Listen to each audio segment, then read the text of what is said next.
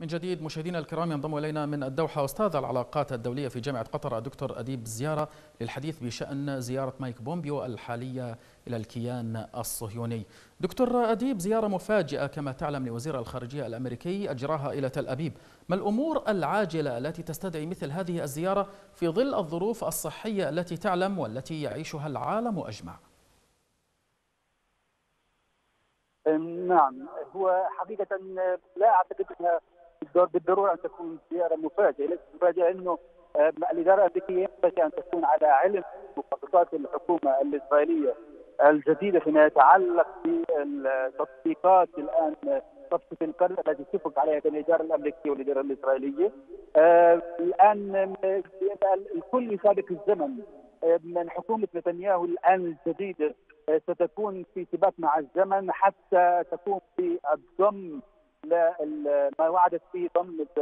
الأجزاء من الضفة الغربية قبيل قبيل الانتخابات الأمريكية. وهذه سيضربون بها عصفورين في حجر واحد، اولا سيدعمون ربما ال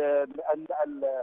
ترامب في مشروعه أمام اليمين اليمين الأمريكي الإنجيل الأمريكي.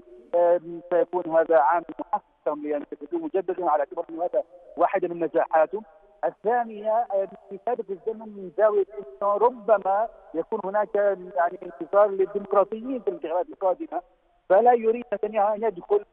مع حكومة غير معلومة التوجه فيما يتعلق بالضم ضم الضفة الغربية. لذلك هم سيحاولون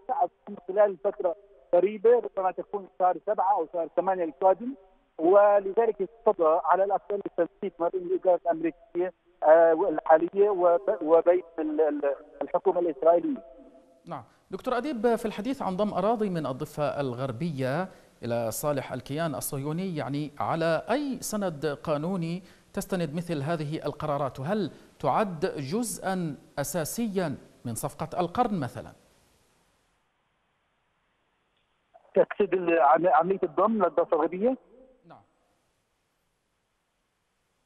هل عملية ضم أراضي من الضفة الغربية تدخل في إطار صفقة القرن التي قدمتها أمريكا بانحياز واضح كما يرى كثير من المحللين لصالح الصهاينة؟ تفضل. طبعا يعني هذا بلا شك إنه صفقة القرن هي بالكامل بالكامل هي لصالح الصهاينة وقد أتت الصفقة على ذكر مسألة الضم للمناطق في في الضفه الغربية لصالح الحكومة الإسرائيلية ولم تبقي في حقيقة على سوى أجزاء منقطعة الأوصال آه، تسمى ربما يعني تكون تسمى دولة فلسطينية أو تسمى إمبراطورية فلسطينية أو أو أو, أو أي شيء آخر، لذلك هذا جزء من صفقه القرن يتجزأ مسألة الضم وهم وعدوا ان أن تكون الاداره الامريكيه معهم في هذا في هذا الاتجاه، وأنا أرى أنه فعلا الإدارة الأمريكية الحالية ليس عندها تردد بالعكس هي تعيد وتزيد أكثر من مرة. مساله إنه نحن مع التوجه والسفير الأمريكي في تل أبيب يتحدث عن هذا ليلا ونهارا ويتحدث عن حتى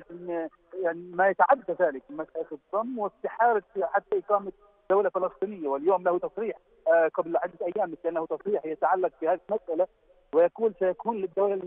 الفلسطينيين دولة إذا أصبحوا كنديين بمعنى إنه كما يستحال أن يصبحوا كنديين الفلسطينيين ستكون دولة فلسطينيه لهم محالة لذلك أعتقد هو جزء من صفقه القرن طبعا جزء من صفقه القرن التي للأسف آه، يعني تمرر على الأرض بغيبة بغيبة فلسطينية بغيبة عربية وبغيبه دولية عن عن الوجود. في سؤالي الأخير إليك دكتور أديب الزيارة يعني ما هي الإجراءات المتوفرة والمتاحة أمام القيادة الفلسطينية من أجل يعني محاصرة مثل هذه القرارات الصهيو أمريكية ومن أجل ردها وعدم تطبيقها على الأرض ما المتاح أمام السلطة؟ والله هو متاح أمام السلطة شغلات كثيرة يعني السلطة الفلسطينية ليست خالية الوفاء لديها خيارات وأبرز خيار فيما يتعلق بهذه المسألة أن تعود أن تعود كما عادت إسرائيل عن الاتفاقية اوسلو الظالمة عادت عنها ولم تعد تعنيها لم يعد حل الدولتين بالنسبة لها يعنيها أي شيء كما عادت إسرائيل عن الموضوع على السلطه الفلسطينية أن تعلن العودة عن اتفاق اوسلو ولكن هل السلطه الفلسطينيه عندها استعداد أن تدفع ثمن العودة عن اتفاق اوسلو؟ أنا أعتقد حتى الآن لم ينضج للأسف لدى القياده الفلسطينيه التوجه لأن تدفع ثمن هذا الكلام. المسألة تتعلق ليست فقط بالكلمات، نحن نعرف إنه القيادة الفلسطينية لها تصريحات عديدة تحدثت عن مسألة ال عن مسألة ال ال الرجوع عن اتفاقيات أو إذا صارت هناك ضم سيكون عندنا توجه للتخلي كامل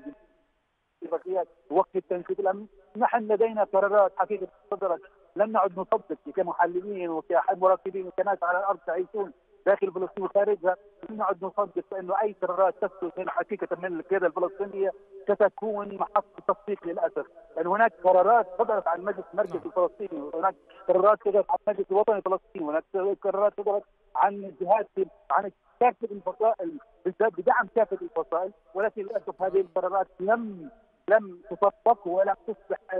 كان التنفيذ بتاتا ولا أعتقد انه اجتماع القيادة الفلسطينية في الأيام القادمه سيكون في هذا الاتجاه، إذا كانت القياده